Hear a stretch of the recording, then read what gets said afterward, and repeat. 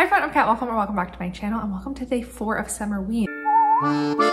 If you missed my vlog for days one through three, I will have that linked somewhere in a card and in the description down below. I'm picking up right where I left off and I'm currently in the middle of two books. I think I'm like almost exactly halfway through both of them. The first is Bury Your Gays by Chuck Tingle, which I'm not gonna talk too much about right now because I ended off my last vlog talking about it and giving my current thoughts. The book I haven't spoken to you about yet that I'm also about halfway through is Love Letters to a Serial Killer, I think it's called, by Tasha Coryell. I don't really know why I didn't talk about this. This is when I started reading like when I was going to bed at night because Your Gays was freaking me out a little bit. This is not as scary, it's a thriller and it's like a light, not scary thriller at that. And I don't know if I thought I was like just bopping between too many books in my last vlog, but I was like, I'm gonna wait to talk about this until the second vlog.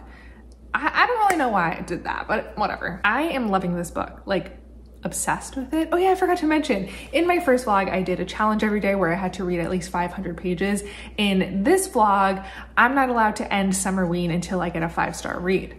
And that just prompted my memory because I feel like this is gonna be a five star read, which kind of puts an early anticlimactic end to the challenge, but that's okay. In this, we're following Hannah, who is just kind of struggling in life. She's not really happy with her job. She feels kind of stagnant and she's really not having luck dating. And while this is all going on in her life, there are women's bodies that are being found in a ravine.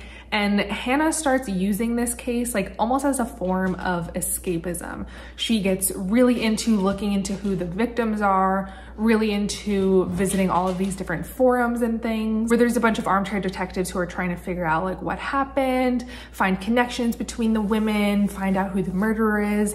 I think after four women are found, a man is arrested and Hannah, after like a bad date, writes a letter to him, kind of like in a fit of rage. It doesn't start off romantic. She's kind of like, fuck you, fuck all men, I hope you die. But he responds and is really nice to her and she's not used to that. So she decides to respond to him and they continue writing back and forth and like build a little pen pal relationship. I love this. I just love reading from a crazy little bitch and that's what Hannah is. And you can see that before she even really starts corresponding with William. There are times where she like compares what she's going through to what the victims have gone through and it's just like girl it's not the same at all she's like yeah i texted max tonight and he didn't respond so like i know exactly what anna was going through in her final moments like it's it's horrible. I'm also doing the tarot readathon this month and one of the cards I got was to read a book with a villainous character. I chose this for it. I wasn't sure if it would exactly fit, but like now reading it, I'm like, yeah, maybe she's not a stereotypical villain, but like she, she's villainous. But I just love reading from characters like this. I don't like Hannah. I don't think she's a good person, but I find her fascinating and I find the way she thinks fascinating and I find the things she does fascinating. Like she doesn't think William is innocent. She's not like, oh no, like this sweet man, he could have never done this. Like I know he didn't kill these four women. No, she's like, I know he did this, but that's my man. Look at the screen. That's mine. And, I, and, that, and that's and that's and that's what you're going to settle for. I'm gonna stick beside him. We do know right from the jump that like things go wrong. The first chapter opens right up with her being tied up and like kept somewhere. I do have a guess as to what I think a twist is going to be. Um, but I don't really mind. This isn't one of the books that I'm like, I need a good twist, I need a good reveal. It's more about the entire story. Like it's more kind of of a character study, which I always really, really love. So I'm really, really loving it. And I'm happy now that I've spoken about it, I can read more of it because I've been kind of holding myself off because I hadn't updated you yet. I don't know why I didn't just talk about it in this in the first vlog, but that's okay.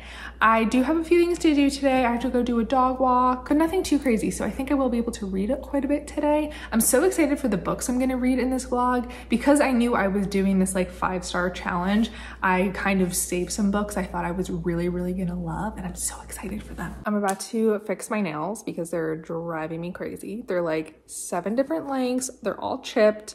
I just need to, I don't know, every so often I need to do this. I just need to cut them all short and start fresh and new. I'm gonna do this neon orange color that I've been really enjoying lately. And normally I love to watch a show when I do my nails. That's like my time but I just need to keep reading this book. I'm gonna put on the audiobook. I'm I'm just loving it. Someone is asking Hannah about William and Anna Lee was his first victim or the killer's first victim. I guess we don't know if he's a killer yet. We think he is, but I don't know.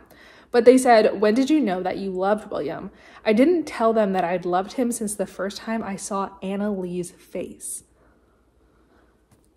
Uh, oh, that's not. This does have some humor to it, which I'm enjoying. Like, she's keeping a list guilty and not guilty, and every time, like, something happens or he does something that she thinks makes him seem guilty or not guilty, she notes it down one of them being when she's like poking through his house, she finds out that he folds his underwear and she like adds it to the guilty side of the list. So I'm back so soon because I need to read you this passage. So you know from the synopsis already that William is released at some point. So now him and Hannah are hanging out, they're shacking up together.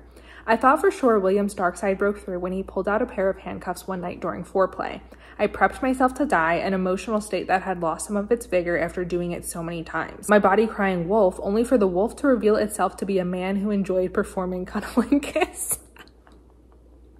like, that's what I mean. This book is so unserious. I finished my nails. I finished my book. I finished editing my video, which I'm so happy about because when I loaded all of my clips in and I saw I had an hour of footage a part of me died inside. So I'm really happy I have it mostly done. I have a few little things left to do. So Love Letters to a Serial Killer, I don't know what I want to rate it. Like my instinct truly is to give it a five star, but was it like the most incredible book I ever read? No, but when has that stopped me before? And I don't have too much to say about it. I feel like it didn't bring up a lot of things to discuss. Like you would maybe think it would have some commentary or discussion on women in real life who do often like contact serial killers and stuff. It didn't like at all. But despite those things, I just had such a good time reading it. I found it so entertaining, so like addictive. I just wanted to keep coming back to it, keep turning the pages. It was interesting, it was funny, it was predictable. Like I said before, I felt like there was gonna be a twist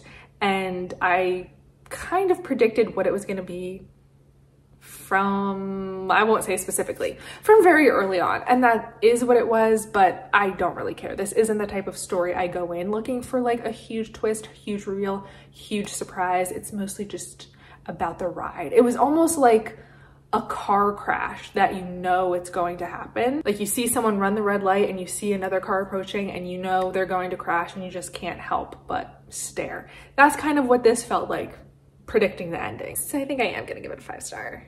But then what is this challenge? Like, is it just over? That's sad. I think we should just try to collect as many five stars as we can get. Should we make like a number goal? How about I have to give three books five stars before I can end Summerween? Let's just try it. Let's see how it goes. I don't know what I want to start next. And you may say like, hey, you're halfway through Bury Your Gays, like pick that up. Uh, I don't want to. I am going to finish it this week. I truly have no urge to DNF it, but I also have very little urge to pick it back up but more more than none you know but i do want to start something else. So i'm deciding between strange sally diamond and the night guest. I don't know what i'm in the mood for. Maybe i'll post a poll on instagram or actually maybe i'll post a poll in the tarot readathon discord and have y'all choose what i read next. I think that's a good idea. I'm writing this right beside you. I guess I'm hoping it might. Ignore my hair. I just got out of the shower. I'm 7% of the way into the night guest and I just teared up. Chapter 2. This is a horror about a woman. I don't think we've learned her name yet. But basically, whenever she wakes up, she's exhausted. She'll sleep for eight hours and just be bone tired the next morning. And like her legs and her arms will be really sore and she has weird bruises. So she thinks something is going on with her. She is going to see doctors and everyone is telling her that nothing is wrong with her. And not just telling her nothing's wrong with her, but like writing her off. Like, okay, lady, you're tired, go get some rest. She finally sees a doctor that seems to be listening to her a little bit more, runs some tests, and she really gets her hopes up. She's like, okay, I'm gonna get this figured out. I'm gonna get a diagnosis and then we can move on to treating this. But then all of the tests come back negative and the doctor says there's nothing that she can find that's wrong with her. And she just starts crying and she's like, why am I crying over being told I'm healthy? And I was just really able to relate to it. I've mentioned a couple times I have a heart condition. I started experiencing symptoms when I was like 12 or 13 years old and I didn't get a diagnosis until I think it was two years ago and I'm about to be 28 and experiencing really scary symptoms and then being told like oh it's just anxiety. Oh you're just out of shape. You need to exercise more. You need to drink more water. You need to eat healthier. Blah blah blah. And like limiting parts of your life because you're scared you'll experience symptoms somewhere. When I met with my cardiologist now and he gave me my diagnosis, I just started crying and he was like, it's okay. Like, it's not that scary. It's pretty simple. Like, you can just take a pill twice a day. Like, you'll be fine. We can treat this. I'm like, I'm not sad. Like, I'm so happy. I just have like a name for this now. Anyway, that's the personal overshare story time of the day. I'm gonna go back to reading. Good morning. Happy day five. My hair's a mess. I went to bed with it kind of damp last night and I just haven't done anything with it yet. Making my coffee, I finished my book. Sorry, I'm glad I at least gave you one update. Quickest read of my life. By the way, I showed this in my last video and I was like, does this look weird? Like I'm just putting a nondescript, unlabeled white powder into my coffee. So I put up on the screen what it was.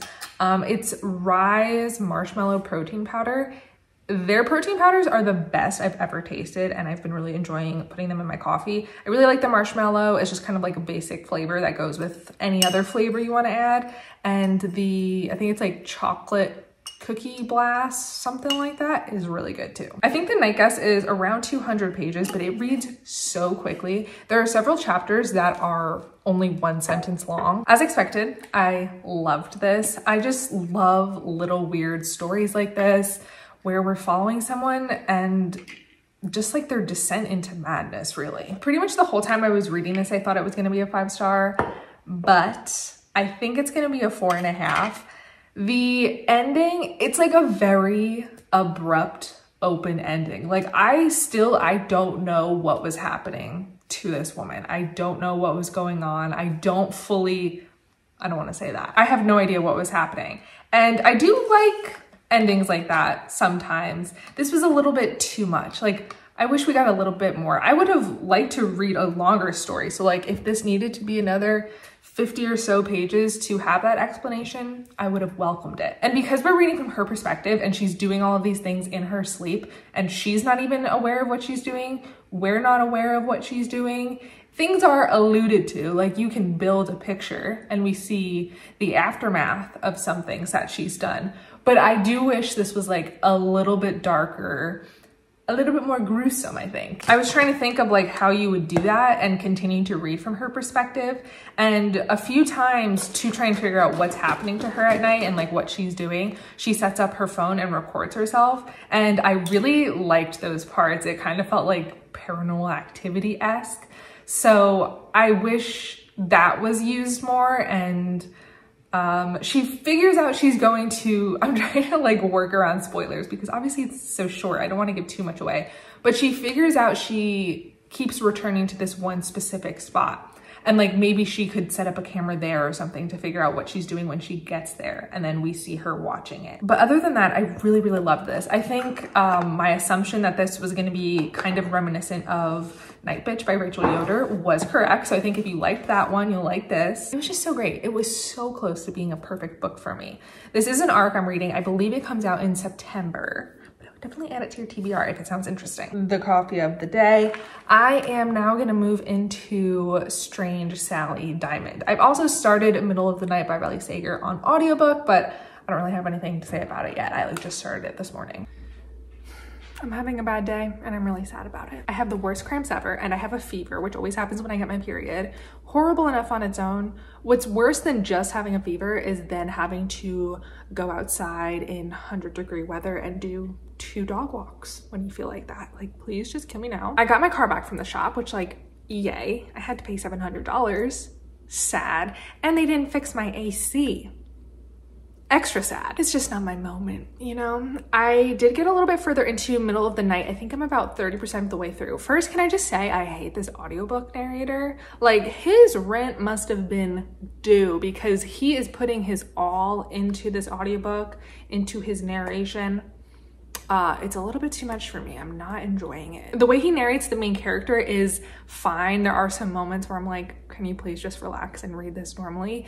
The way he voices the side characters, especially the other men, actually it's just everyone. I was gonna say, especially the men and children, but then I was thinking about this one woman whose voice he made really annoying as well. I'm just hating it. Luckily, on my way home, when I was thinking about how much I hated listening to this, I saw the pop up from the library that my ebook has become available. So I will probably switch to reading it that way. The main character is Ethan. I think in like 1994 or something like that, he was camping in his backyard with his friend Billy. He woke up, there was like a big slash in the tent and Billy was gone, never to be seen again, never figured out what happened to him. It's now, I think 30 years later and Ethan is returning to his parents' home for the first time. I think he's like trying to help them get ready to sell it.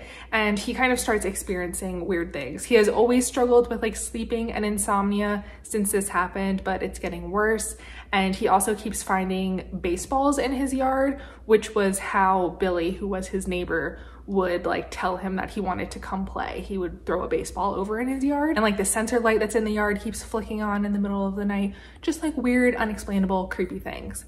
Have to say, this is pretty dull. Like it's just one of those books, I'm listening to it and I'm like, okay, this is fine, I guess. There was one thing that kind of piqued my interest and like was a little bit exciting to me, but I don't know. I don't really have that much to say about it. I know I'm not too far in, but like 30%, I feel like that's a good chunk of the book. And I just kind of feel like nothing so far. And funnily enough, I just finished watching Steph's video from the first few days of Summerween and she read this and also said it was very boring and was like, and I know I've seen a bunch of people saying it's really boring too.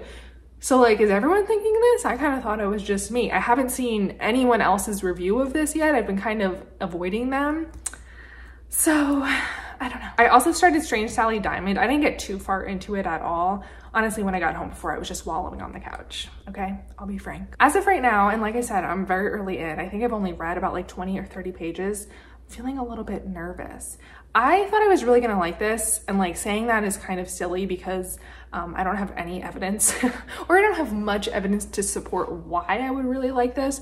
All I've seen people say about this is it's like really, really disturbing. I really like the way it opened. We're reading from a woman and she's been kind of caring for her father and she walks in and finds out he has died in his sleep and she takes him out to the backyard and cremates him herself. And that is talked about in the synopsis. And I don't exactly remember what else is said in the synopsis. I feel like it was pretty vague. Like Sally cremates her father and then has to confront things like both past and present, something very vague like that.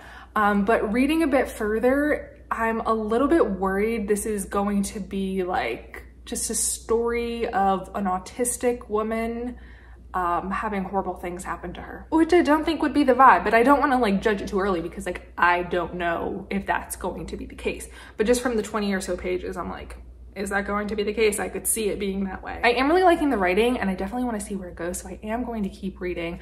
Right now, I'm about to head home for a little bit. My boyfriend and I are making pizza for dinner, which I'm really excited about. Never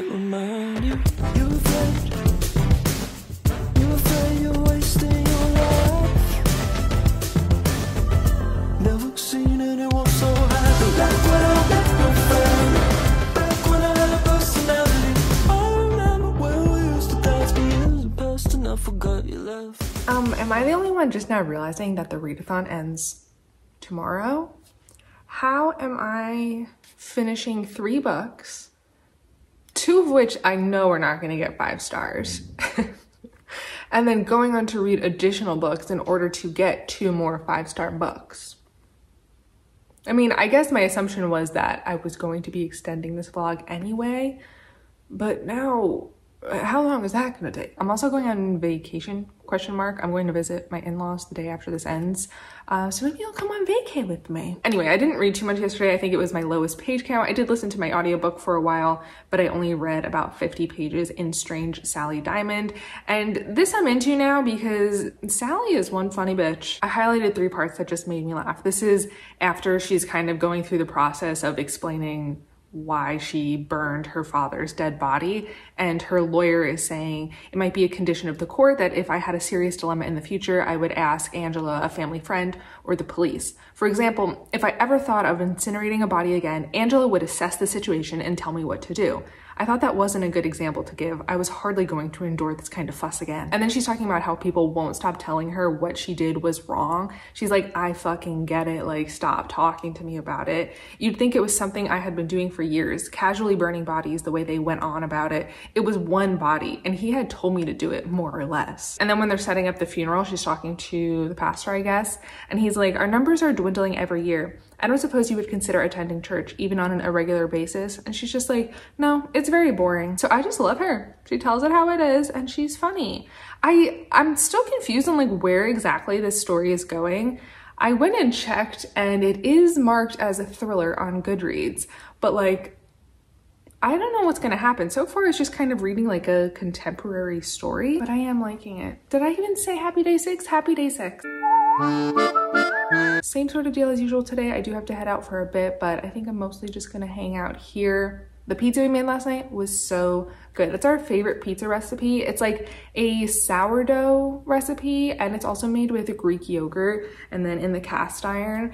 And the addition of the Greek yogurt, it like adds a nice amount of protein and I feel like it's so much more filling than normal pizza is. And it's just, so yeah, I have to get to reading. I kind of have some serious work to do after I finish these three books, which like I don't even know why I'm thinking about this right now, but I am. I don't really know what I want to read next. I'm thinking since I'm also doing the tarot readathon that I will pull a tarot card and have a prompt pick my next book. I fucking love Sally. Just these two moments back to back. Stop calling me a racist. Stop being one. She ate and then I'm not like predatory and that is what a predator would say.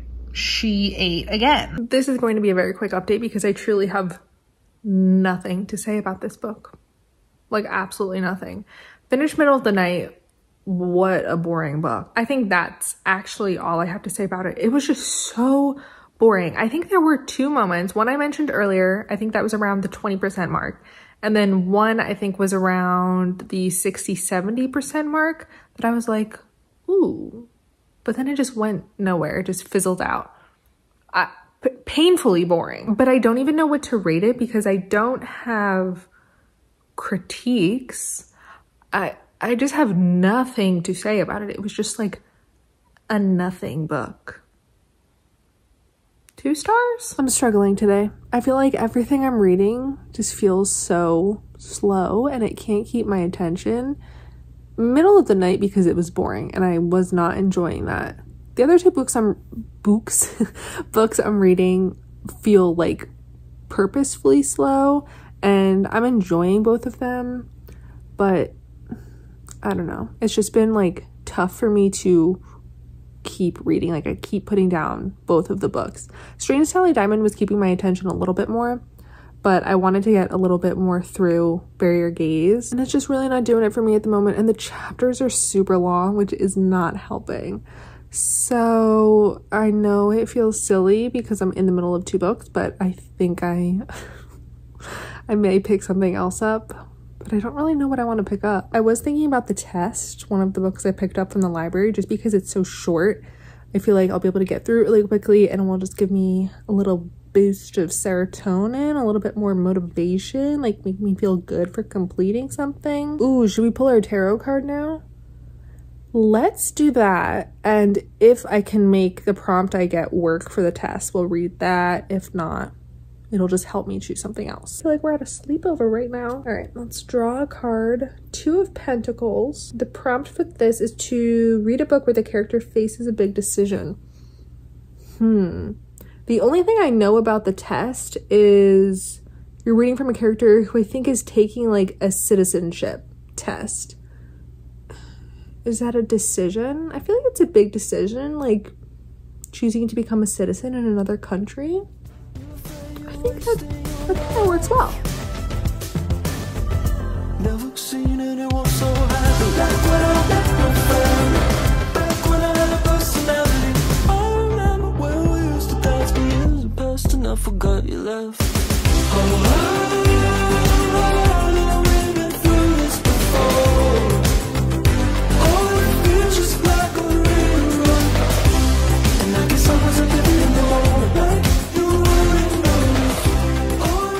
oh, so soon. I've read about 30 pages and I just have to say, I don't actually think I could have picked a better book to fulfill this prompt.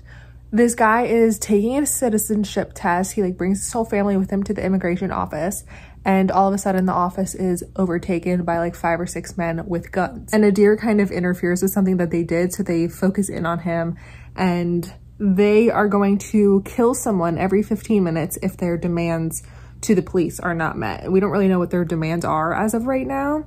And they're going to make Idir choose between two people who gets shot and killed. So like a character has to make a big decision. Like, is there a bigger decision to be made? The sun has now set, so it's a little dark in here, but I finished this and I loved it. I'm so, I just love when I make like the perfect decision for myself. It was the perfect decision to put a pause on my other books and pick this up. It was such a good palate cleanser. I mean, I don't know if palate cleanser is the right word. That kind of makes it sound like it was like light and fun and those were not the vibes, but I just loved this. As someone in college who took every single psychology and sociology class that she had access to, like I just loved this. It felt like an episode of Black Mirror.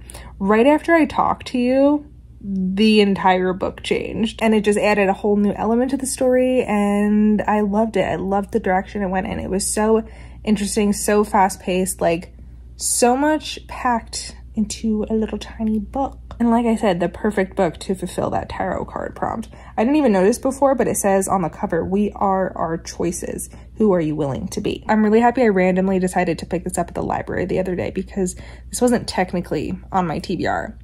And I'm happy I read it. And now I feel ready to get back into my slower reads. Good morning. Happy day seven of Summerween, which is maybe the last day for me.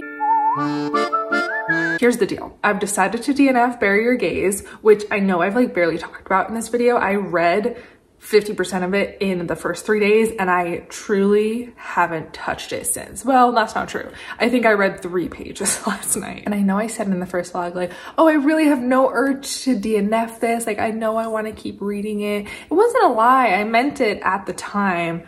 But now I do have the urge to DNF because I just realized I don't care. Like you may wonder why I'm DNFing this and I didn't DNF middle of the night. Even though I found middle of the night very, very boring, there was still a part of me that was intrigued by what happened to Billy and wanted to know what happened to Billy. Here with this book, I just don't have that. Like I just don't really care to see the ending of the book. I don't know if maybe this author just isn't for me, which I'm kind of sad about. I don't know why, like I just want to really like him. But I feel similarly about this to how I felt when I read Camp Damascus. And I thought maybe those feelings were maybe just because that was YA, which I normally don't really like. So I was excited when I saw this was an adult. But I just feel the same way where I just like, there are elements that are good and interesting and unique. Both of these books are very centered around being queer, which I really like.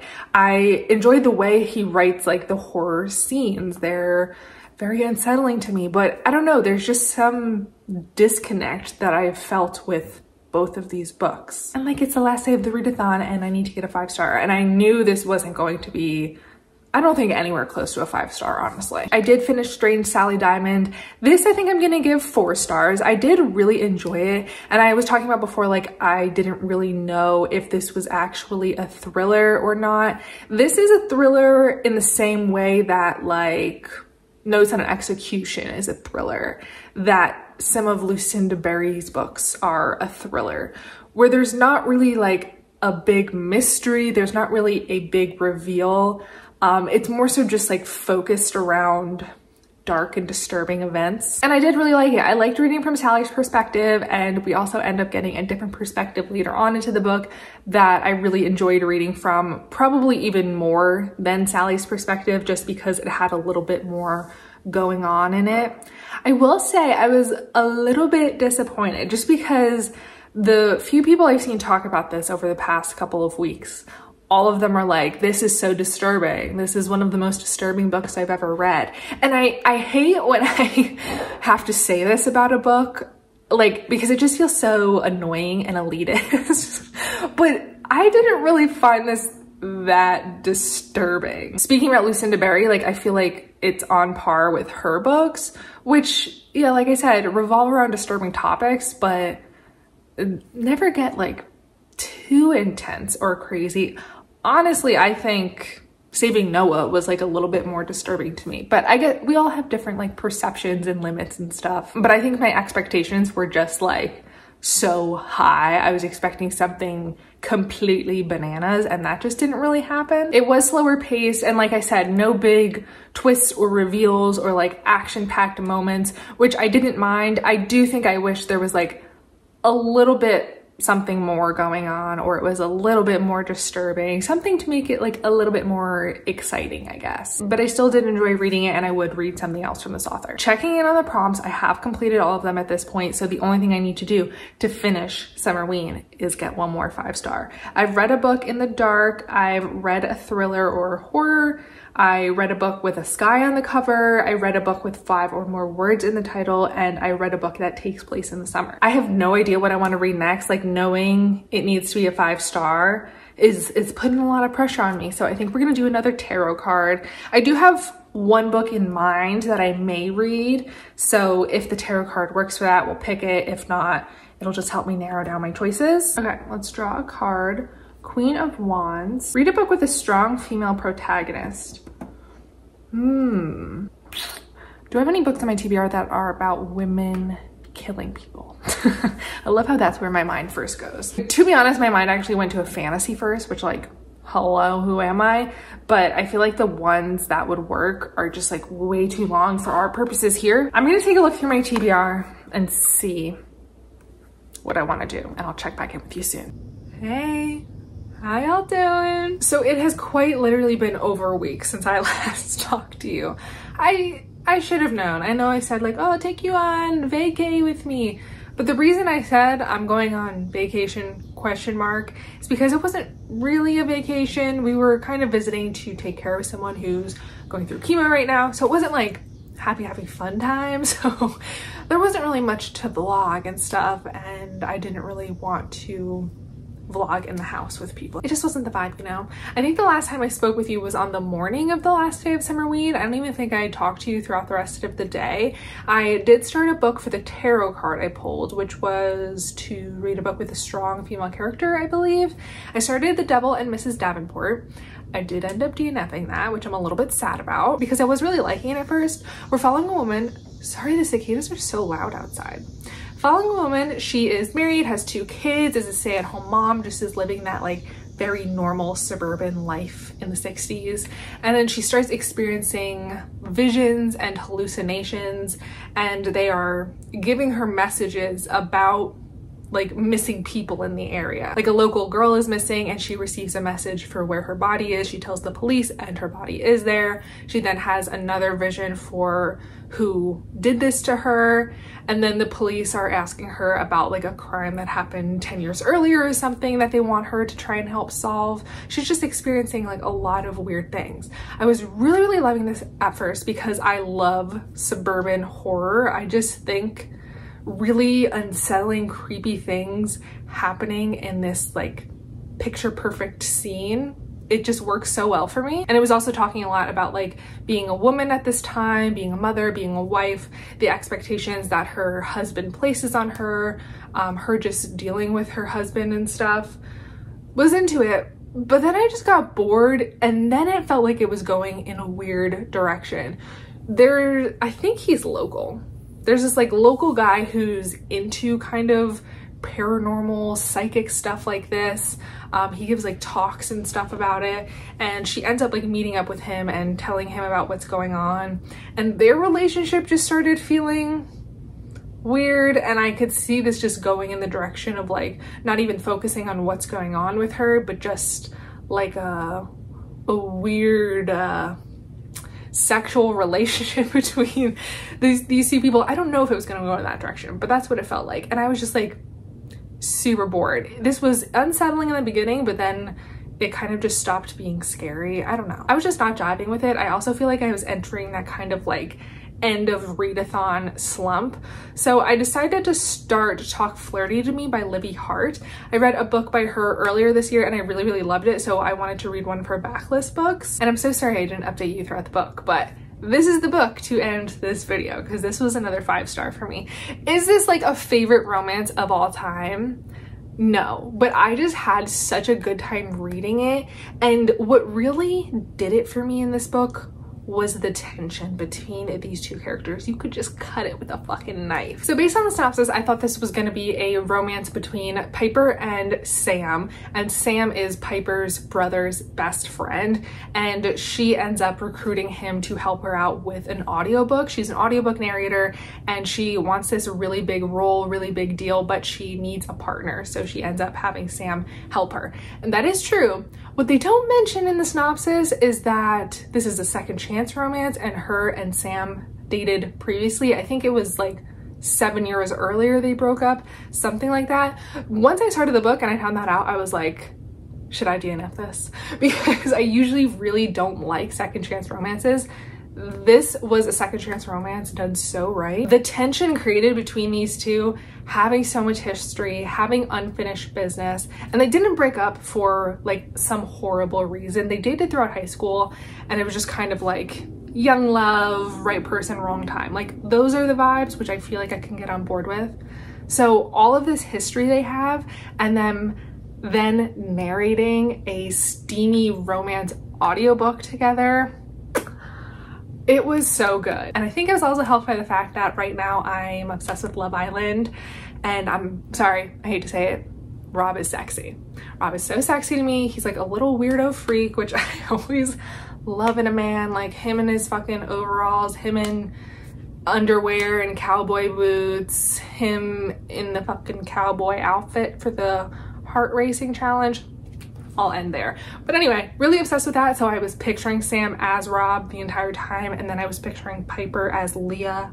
And it was just, it was just working for me. I really liked how they came back together and worked through things. And like I mentioned earlier, it's not like they're ever at odds with each other. It was truly like right person, wrong time. And even the third act conflict, it's more based on like outside circumstances rather than rather than them like arguing or miscommunicating, which I always really, really like. And it was just so hot. I'm sorry. It was so hot. The tension throughout the entire book was just delectable. I think I only have one complaint and that is I wish there were more scenes of the two of them narrating this audiobook. I think we maybe only get like three or four short scenes of that and they were so good. I wish almost like between every chapter there we got a little piece of the audiobook. Like that's how good it was to me. That's how good these moments were to me. And I'm really happy I liked another book from this author. I think I gave the last book I read from her four and a half stars. She has something else coming out later this year so I'm excited to keep reading from her.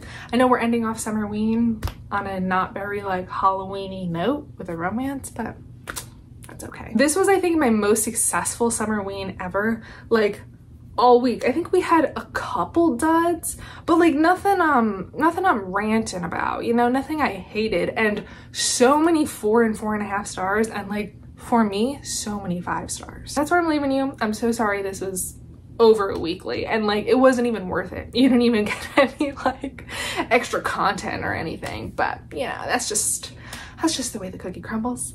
Thank you so much for watching. Let me know how your Summerween went and I will see you in my next one. Bye.